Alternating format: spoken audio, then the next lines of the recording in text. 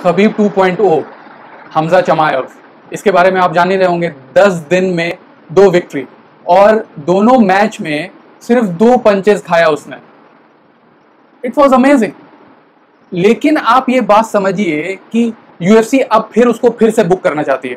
क्योंकि उसके पीछे इतना ज़्यादा मोमेंटम है अभी, क्योंकि ऐसा अब हो नहीं पा पाता है इतना जल्दी, क्योंकि पहले जैसे टूर्नामेंट होता था और एक ही नाइट में चार पाँच विन करने के बाद तीन विन एक ही नाइट में एक एमएमए फाइटर और उसके बाद से ही इज़ स्टार क्योंकि मतलब उसको देखा गया कि एक ही रात में उसने तीन ओपोनेंट को हरा दिया। लेकिन हमजा चमायव अभी वो उस तरीके का टूर्नामेंट होता नहीं है तो हमजा चमायव सिर्फ़ दस दिन में, क्योंकि पहले वाले फाइट में सिर्फ़ उसने दो स्ट्राइक खाए थे और उसके बाद से नेक्स्ट फाइट में जो फाइट हुई थी मैगी के साथ, जो यूके का बहुत अच्छा अपकमिंग डेब्यू था उसका upcoming he was star in UK और उसको मतलब हमजा जमायव ने मतलब एक भी पंचेज नहीं खाए उससे, एक भी स्ट्राइक मैगी मार नहीं पाया हमजा जमायव को। दैट वॉज़ अमेजिंग मतलब हम कभी भी ऐसे एक फाइटर को नहीं देखे हैं जो मतलब इतना ज़्यादा कंफर्टेबल हो ऑक्टागोन में। और उसके बाद से अभी उसकी पहली और दूसरी फाइट है। उसको तो थोड़ा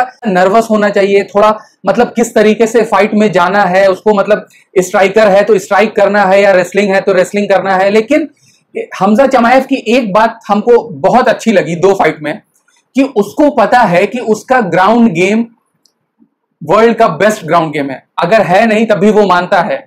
और उसने पहला मैच उसका हुआ था मिडिल वेट में और उसका बाद दूसरा मैच हो गया उसका वेल्टर वेट में। मतलब फ़र्स्ट मैच मिडिल वेट उसके बाद से पंद्रह पाउंड उसने मतलब लूज करके फिर वेल्टर वेट में, क्योंकि मिडिल वेट में उसको अगले वाले फाइट में कोई फाइट नहीं मिल रही थी तो वेल्टर वेट में चला गया। और डेना वाइट उसको पूरा सपोर्ट कर रहा है। और मैं क्या बात कर रहा मैं बात कर रहा था कि चमायफ की एक ही बात हमको बहुत सारी बात पसंद आई, लेकिन एक बात सबसे ज़्यादा पसंद आई कि उसको पता है कि उसका ग्राउंड गेम कैसा है, कितना अच्छा है, वो किस तरीके से फाइट जीत सकता है and he will going to do that मतलब शेमलेसली मतलब कि उसको कोई उसका शर्म नहीं है। जैसे कि माजवीडाल से आपको जीता उस्मान तो उस्मान को बोला जा रहा था he was like boring wrestling kind of thing लेकिन आपको पता होना चाहिए और उसको, आपको तारीफ़ करनी चाहिए कि उस्मान की रेसलिंग ज़्यादा अच्छी है उसकी स्ट्राइकिंग से। तो उसने अपने, जो चीज़ उसका अच्छा है, अपने प्रॉप्स पर उसने काम किया और मतलब माजवीडाल से मैच जीत गया।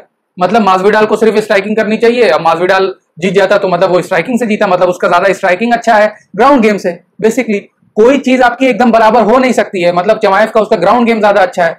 लेकिन, और एक बात पसंद आई और हमको खबीब की याद आ गई दो तीन साल, चार साल पहले जब खबीब अच्छे से इंग्लिश नहीं बोलता था तो उसी तरीके से हमजा चमायफ बोलता है कि I will smash you brother brother I will smash everybody I am going to be champion brother जो ब्रदर ब्रदर है, और उसने जो खबीब भी बोलता है एक तरीके से I will smash corner face तो चमायव ने भी उसी उसी बात को फिर से रिपीट कर दिया।